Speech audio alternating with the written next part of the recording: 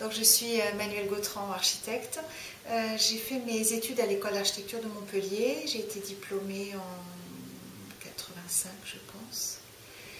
Et ensuite, j'ai travaillé dans différentes agences et puis j'ai assez vite voulu m'installer et travailler pour moi-même. Et donc j'ai créé mon agence en 91.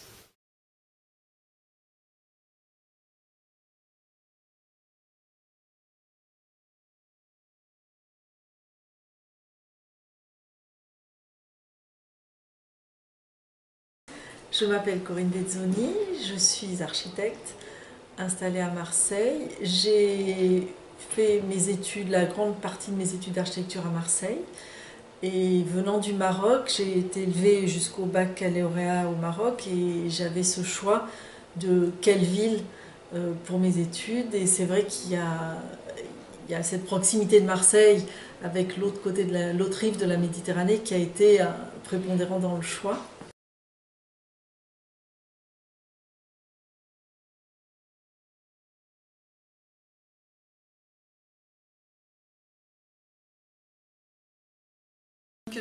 Architecte. Je suis diplômée de l'école d'architecture euh, de Toulouse en 1991. J'ai travaillé euh, dans des agences à Paris, aux États-Unis, puis à Toulouse, avant de créer ma propre euh, agence qui, dans cette région, a à voir avec les fondements de mon architecture.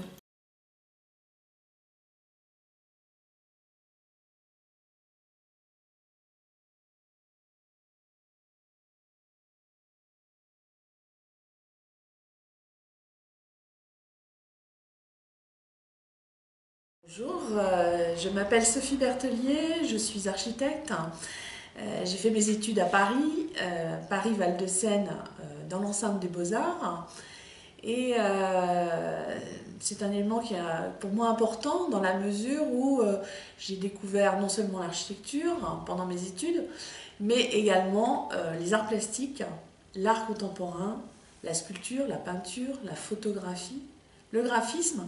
Et donc j'ai complété euh, durant mes études, grâce à mes amis euh, artistes, toute cette, cette euh, panoplie, je dirais, complémentaire à, l'enseignement qui m'était donné. Et donc j'ai passé mon diplôme en 1984. Et à la suite de ça, je suis rentrée dans l'agence de Jean Nouvel et je suis restée 8 ans. Je devais rester 3 mois et finalement ça s'est pas mal prolongé. Euh, et, voilà, c'était une expérience euh, extrêmement intéressante. Et en 1992, j'ai cofondé euh, mon agence avec deux associés à Chartres.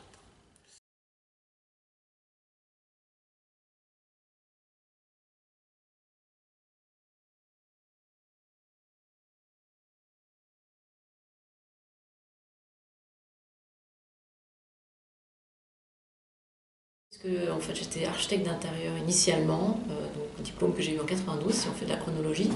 Et j'ai travaillé, euh, j'ai travaillé, donc une reconnaissance de mon travail. Euh, donc je me suis formée sur le terrain, on va dire. Et puis en 2000, il m'a semblé que c'était nécessaire de passer le diplôme pour, bah, pour avoir la liberté de construire, voilà, tout simplement.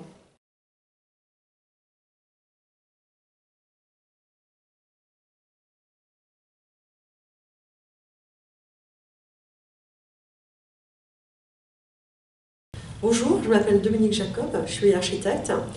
J'exerce à, Paris euh, avec mon associé Brendan McFarlane depuis 1998.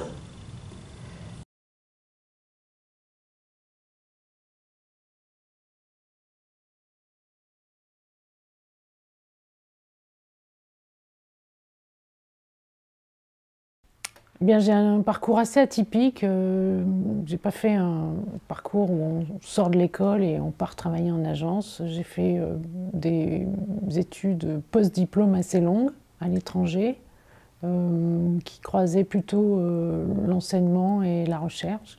J'ai bénéficié de plusieurs bourses de, recherche qui m'ont permis de faire un certain nombre de travaux d'urbanisme sur les campus américains, ensuite à la Villa Kujuyama. Hum, et, puis un passage assez long euh, en Californie euh, a précédé l'ouverture de l'agence.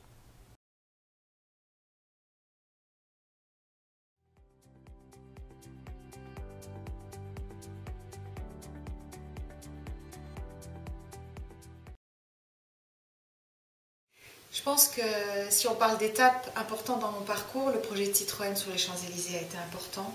Euh, là aussi, quelque part d'ailleurs, c'était un projet privé euh, pour le groupe Citroën, Peugeot, Citroën.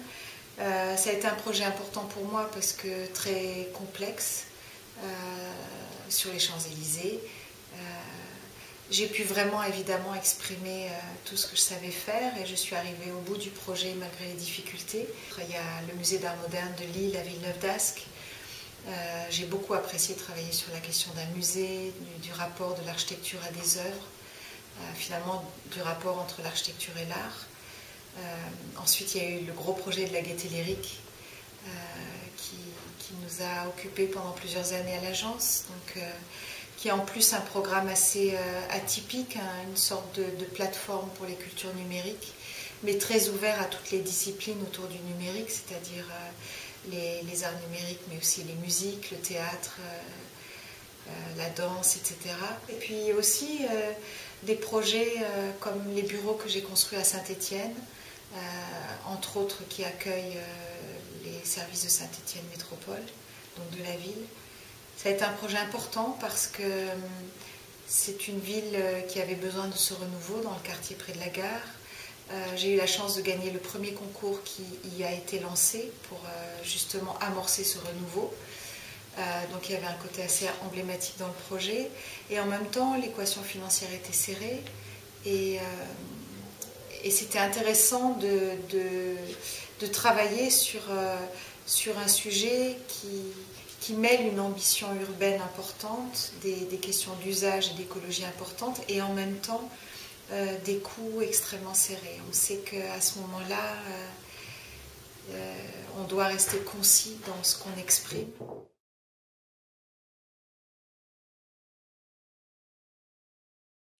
Oui, alors je peux vous parler du campus Timon à Marseille, qui est le dernier réalisé. Euh, il se trouve qu'en plus, curieusement, j'ai pas énormément construit à Marseille et ce bâtiment est le troisième que j'ai construit dans, la ville en, 20 ans de carrière, c'est pas énorme. Euh, c'est un petit pôle pédagogique pour l'université de médecine, la faculté de médecine, qui est une très grosse faculté. Marseille est très réputée pour sa, voilà, sa, dynamique euh, médicale et dans la recherche aussi. Et ce petit bâtiment se trouve dans un campus euh, donc dédié à la médecine, à l'odontologie, la pharmacie, lié aussi aux hôpitaux. Et c'est le plus petit bâtiment du campus. C'est vraiment le tout petit petit poussé qui est là, euh, qui est au milieu d'un univers de, mastodontes bâtis, avec un bâtiment qui est très important, qui est la faculté d'origine, euh, qui est une grande barre des années 60, un architecte qui s'appelle René Hégère, qui a beaucoup travaillé avec Pouillon sur toute la réhabilitation de la ville de Marseille, et qui est un héritier des modernes, du Corbusier, qui a travaillé un bâtiment complètement moderne, euh, en béton brut, avec ces couleurs qu'on retrouve ici aussi, les couleurs primaires, dans lesquelles il a utilisé beaucoup, enfin essentiellement le jaune.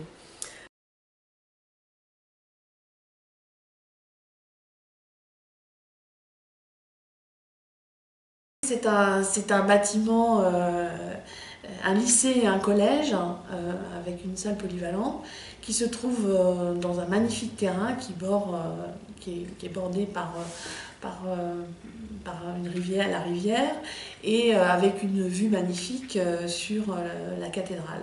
Donc bien évidemment, une relation très, très proche avec l'architecte des bâtiments de France pour euh, définir, euh, définir ce, ce, programme et, et, agir sur, euh, sur ces bâtiments. Donc en fait, ces bâtiments, c'est une sorte de, déambulatoire avec les salles de classe d'un côté et une, coursive fermée mais ouverte sur la vue, sur la cathédrale, et, et avec au milieu, enfin en partie centrale, un bâtiment qui lui euh, euh, est entièrement vitré euh, pour ce qui concerne la salle polyvalente et puis la salle de restaurant, puisque c'est la salle de restaurant du lycée, entièrement ouverte sur le paysage, protégée par des protections solaires en polymétacrylate bleu. En référence au bleu de Chartres. Et donc euh, ce projet est quand même est pour moi aussi emblématique dans la mesure où avec des matériaux très innovants et très nouveaux, on arrive à matérialiser et à, donner du sens et, de la symbolique dans un lieu éducatif.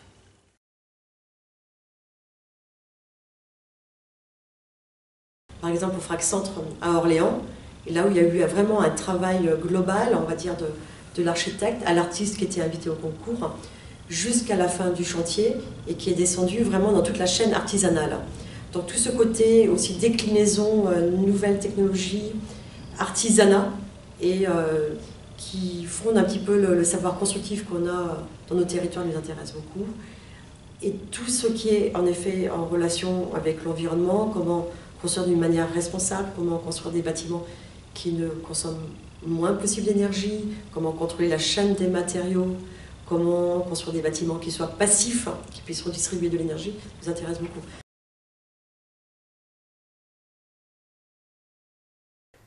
Les, projets qu'on a présentés dans, pour, dans, cette, dans, le cadre de cette sélection euh, sont très représentatifs de l'agence. Soit c'est des projets à échelle urbaine qui portent sur la question de la fabrication de la ville, comment l'échelle de Macrolo se fabrique euh, la ville, la mixité, euh, la question du mélange programmatique, mais aussi les questions environnementales.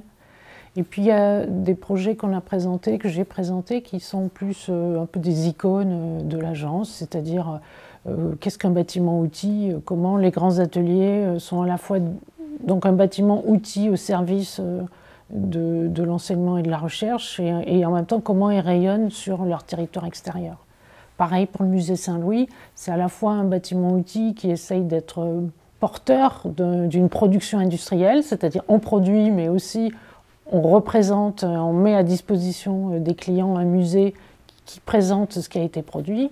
Et en même temps, c'est un lieu qui essaye de trouver sa place euh, dans le musée. Voilà, après, il y a des projets qui sont plus à dominante bois, qui ont été un peu euh, pionniers sur, euh, sur les questions des hauteurs ou du bois dans la construction française.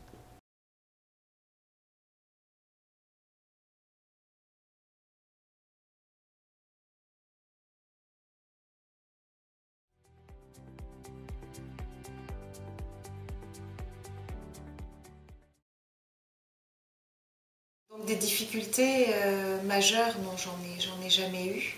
Mais après, euh, si on en vient à la question de, la femme, c'est vrai qu'on voit peu de femmes architectes, on n'en voit pas assez, c'est sûr. Moi, je suis frappée parce que j'enseigne régulièrement. Euh, il y a quasiment plus de filles que de garçons dans les écoles d'architecture.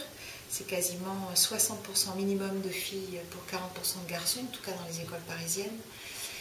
Et c'est vrai que la première fois que j'ai enseigné, que j'ai vu toutes ces filles, je me suis dit, mon Dieu, mais qu'est-ce qui se passe? Parce qu'après, dans la profession, finalement, on en voit euh, très peu. Donc je ne sais pas d'où vient cette perte entre la fin des études et, la pratique. Euh, mais c'est vrai que ça questionne.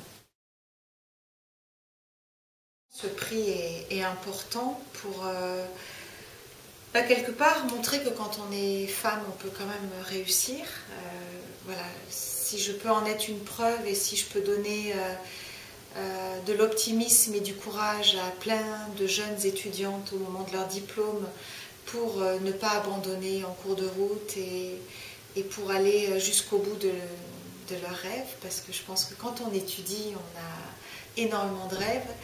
Et et encore une fois, le fait que trop peu de femmes après réussissent en tant qu'architectes, c'est dommage. Je pense qu'à un moment donné, c'est forcément euh, des déceptions pour euh, beaucoup de, jeunes diplômés femmes.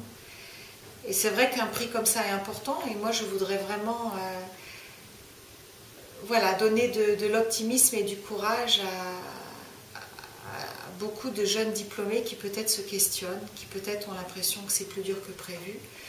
Moi, je pense que c'est ni plus ni moins dur en vrai, dans le fond, pour une femme que pour un homme. Il faut juste se donner les moyens. Et euh, voilà, donc je voudrais être une, preuve de. qu'on peut rester optimiste et euh, qu'il faut y arriver.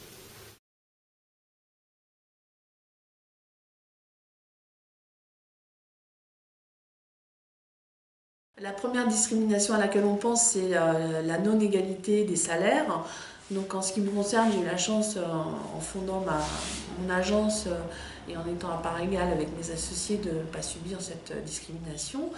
Par contre, je dirais que dans notre métier d'architecte, elle est, elle est plutôt plus ou moins insidieuse, dans la mesure où euh, euh, euh, certaines personnalités masculines dans le domaine de la maîtrise d'ouvrage ou dans le domaine de, l'ingénierie peuvent parfois avoir des propos un peu discriminatoires et il faut simplement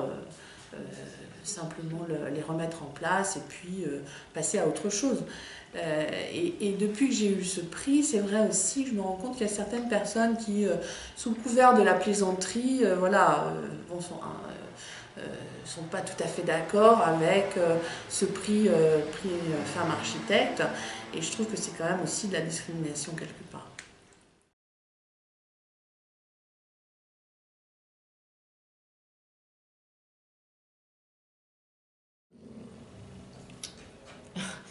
Je, ne m'en rends pas trop compte parce que moi j'ai toujours euh, travaillé, donc j'ai toujours eu du travail et c'est vrai que c'est, euh, je me suis jamais, ça m'a jamais posé de problème apparemment. Probablement je me suis heurtée à des problèmes de comportement sur des chantiers, ça m'est arrivé, euh, des situations un peu cambolesques, mais c'était à la marge, au même titre que des situations que j'aurais pu rencontrer dans la rue, quoi, voilà. Mais, mais je pense que ça c'est un peu compliqué à partir du moment où euh, euh, je n'étais plus associée euh, avec Patrick, où j'avais plus ce chapeau Patrick. Voilà. Mais ceci dit, j'essaye je, de ne pas cristalliser là-dessus parce que je pense que c'est comme ça, il faut faire, voilà, il faut tricoter avec ça, quoi.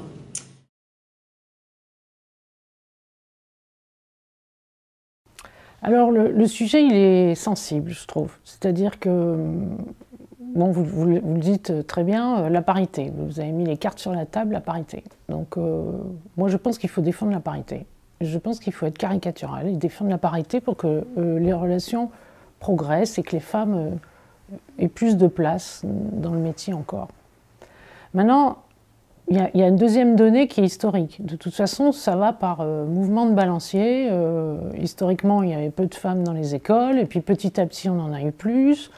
Euh, donc, on, a quand même une courbe qui est croissante. On sait que dans les écoles d'architecture, il y a une parité sans problème. Hein. il y a peut-être même plus de femmes que d'hommes. Donc, il y a la question historique qui est comment sociologiquement tout ça, ça se met en place. Ensuite, il y a la question qu'on vit aujourd'hui qui est parfois caricatural sur, euh, sur le, le fait qu'il faut laisser de la place aux femmes et donc les gens se disent mais c'est un peu du, une sorte de militantisme euh, un peu à courte vue. Et puis après, il y a un sujet qui me semble réel, en fait, de tout ça, qui s'appelle vraiment de la discrimination. Et donc, euh, à la fois, je revendique cette parité, et si je la revendique, c'est parce qu'en fait, sur le fond, il y a de la discrimination. Et cette discrimination, elle est assez insidieuse et elle n'est pas facile à, effacer. C'est-à-dire que, je prends un exemple concret d'hier, où on m'a appris que dans un jury où il n'y avait que des hommes presque, eh bien, euh, ils ont tué une femme, euh, c'est une expression là, mais euh, ils ne voulaient pas la femme et, et c'était des hommes qui soutenaient des hommes. C'était d'une caricature profonde alors que la personne avait énormément de compétences. Bon. Donc c'est juste pour dire que je pense qu'il y a une autre, une autre donnée qu'il faut qu'on prenne en compte, c'est la situation économique.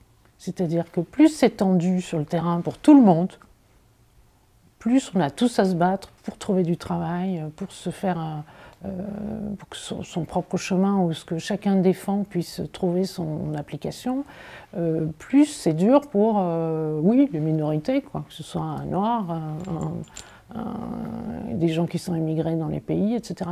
Et, dans ce problème de, situation économique, oui, la femme a beaucoup plus de mal à trouver sa place, je trouve. Voilà. Même si effectivement, et je ne vais pas reprendre ce que tout le monde sait, euh, on est dans des, dans des chiffres qui sont meilleurs, et effectivement, on a des femmes dans les conseils d'administration, on a des femmes à tous les postes euh, dans le métier de la profession d'architecte. Néanmoins, il y a une forme de discrimination qu'il faut combattre.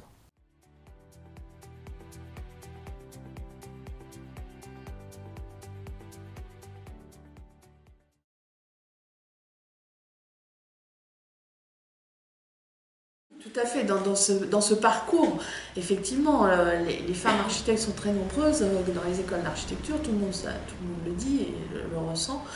Mais euh, effectivement, fonder sa propre agence, c'est déjà une étape qui, est difficile à franchir pour les femmes. Mais je pense que c'est lié à l'éducation. Et je pense que dans les écoles d'architecture, maintenant qu'il y a de plus en plus de femmes enseignantes, j'espère que ça va changer. Mais, euh,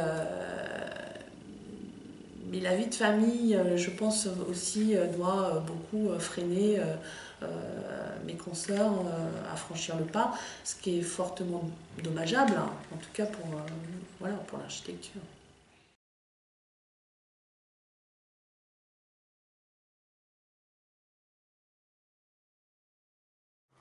Alors, tout à l'heure, on a, enfin, effectivement, la question du, plafond de verre. Moi, je pense qu'il existe quand même, sinon on ne serait pas, en effet, avec si peu de représentation féminine, notamment pour les gros projets ou pour les prix, enfin, ce qui a été énoncé euh, lors de la remise du prix. Mais euh, cependant, je pense qu'il ne faut pas le vivre comme un handicap absolu. Je pense que ça permet aussi euh, bah, de faire preuve de plus d'imagination. Euh, faut, voilà, il faut être peut-être plus pugnace, euh, voilà, ça nécessite de, bah, de s'accrocher un peu plus. Et puis bon, bah, c'est aussi formateur, donc euh, je pense qu'on peut facilement, euh, de cette contrainte, faire naître de l'imagination et fonctionner différemment. Donc je pense que voilà, faut pas le subir.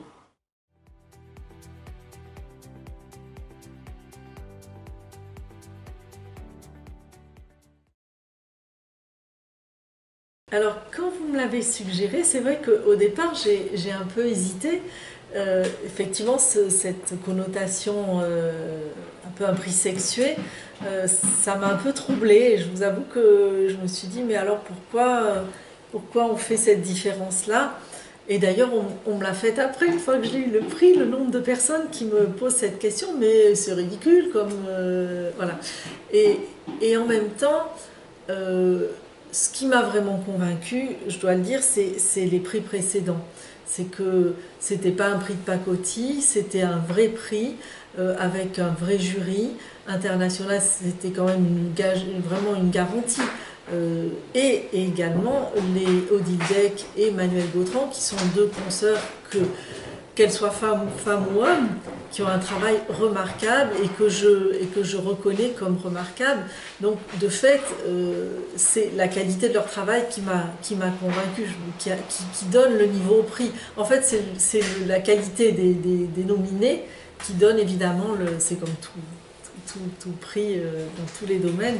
Donc, c'est vraiment ceci qui m'a convaincue.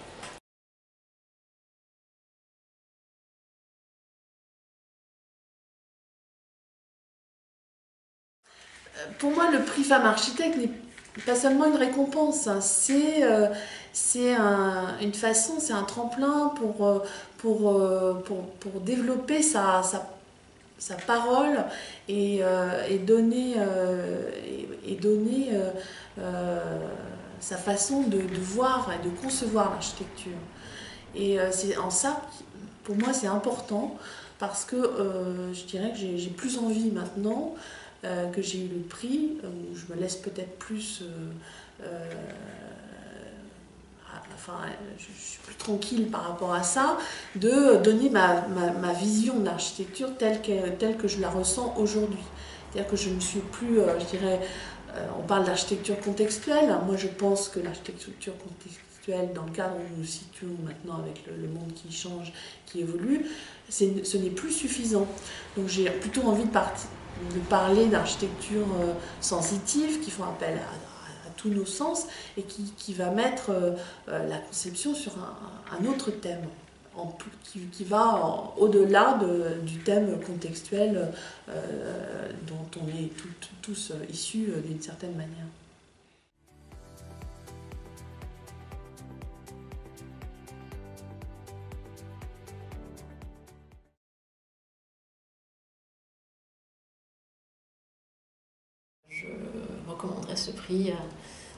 Architectes, bien évidemment. Bah oui, parce que c'est. Je, je, pense que quand il y a euh, l'énergie, euh, que si plusieurs femmes se mettent ensemble, passent du temps à faire un jury, considèrent que c'est à faire, hein, je pense que, voilà, par respect quasiment pour cette énergie-là, je pense que c'est bien de le faire. Et, et puis, euh, puis si ça peut donner un peu de lisibilité aussi sur euh, le travail de chacune, eh ben, moi je pense qu'il faut s'en saisir, c'est tout. Je pas de je pense que n'y a pas un débat, il n'y a, même pas à avoir un débat par rapport à ça. C'est évident pour moi.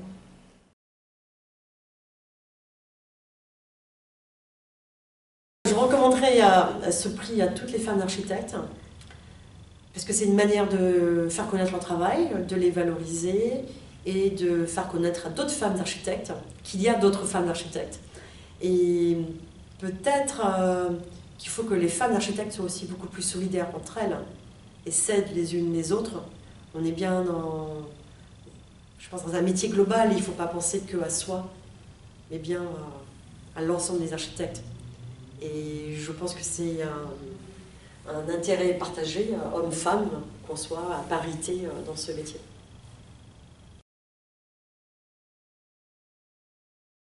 Du, de la différence d'exercice qui existe aujourd'hui entre les hommes et les femmes dans ce métier-là. Euh, je suis très intriguée euh, de la si faible présence euh, des femmes pour parler elles-mêmes de leurs propres projets. à l'école d'architecture, les jeunes femmes sont très nombreuses, elles sont impliquées, elles sont talentueuses. Je pense que c'est important de terminer ce parcours avec un engagement jusqu'au bout dans la réalisation. Et je souhaite euh, euh, encourager cette, euh, cette attitude qui va les conduire vers aussi une mise à disposition à la commande, parce qu'il faut le faire. Bien sûr, j'encourage les femmes à participer à ce prix. Je pense que c'est important de le faire pour donner des modèles aux jeunes générations, mais j'encourage aussi les femmes au quotidien à s'exprimer dans leur nom propre. Euh, parce que c'est ce travail de tous les jours en fait qui conduit à une véritable lisibilité et une véritable euh, construction personnelle.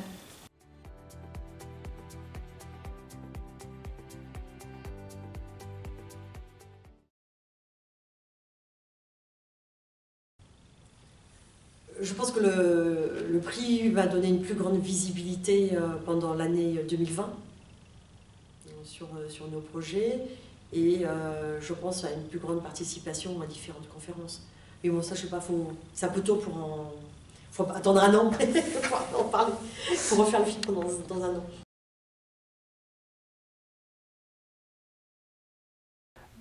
On peut, avoir, on peut espérer toujours des retombées sur l'agence. Ce qui est certain, c'est que hum, votre prix gagne en reconnaissance et que les gens, j'ai eu très bons retours. La profession euh, m'a beaucoup euh, félicité d'une certaine manière, parce que votre prix est reconnu, parce que les gens pensent que voilà, ça doit trouver sa place dans la profession, ce genre de, de, prix un peu à part, mais à part euh, à, l'intérieur d'une profession. Donc, et, et, oui, je pense que c'est bien pour vous, pour tout le monde, pour toutes les femmes, et pour l'agence peut-être, j'espère.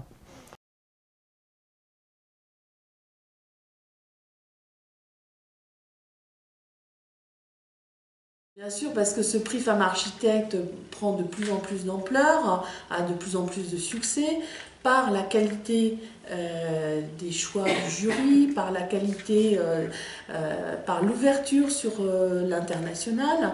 Et de plus en plus, il, faut que, toutes enfin, que les femmes qui ont des choses à dire s'inscrivent à ce prix. Obtenu ce prix m'a déjà donné l'opportunité d'échanges et d'encouragements euh, qui ont été euh, très intéressants pour moi. Euh, je, n'ai pas de doute qu'il me donnera encore l'occasion de nouvelles rencontres d'architecture.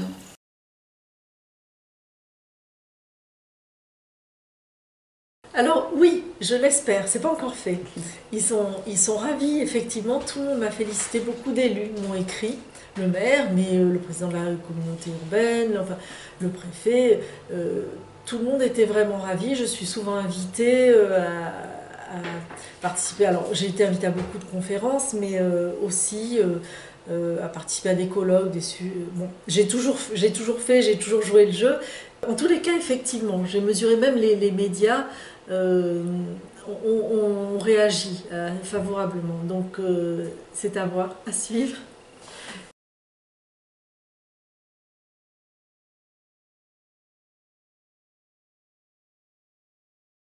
Bah, les répercussions, c'est d'abord c'est très agréable. Enfin, euh, donc voilà, c'est déjà bien. je pense qu'on ne peut pas. Il faut profiter des moments agréables. Donc et ensuite, euh, bah, c'est sympa parce qu'en effet, j'ai eu pas mal de, compliments ou de, messages de, personnes que avec qui je ne suis pas forcément en contact euh, tous les jours, qui ont, qui ont, qui ont eu l'information et qui, étaient contents pour moi. Voilà.